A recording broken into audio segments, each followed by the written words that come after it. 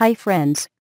Danshui Plant 2 When Dao Chen, the manager of Danshui Plant No. 2 in southern China, was anxious due to the performance of factory and manufactures 20,000 fewer IPHONES than budgeted. Danshui Plant 2 has agreed upon a contract to assemble 2.4 million IPHONES with a 12-month period.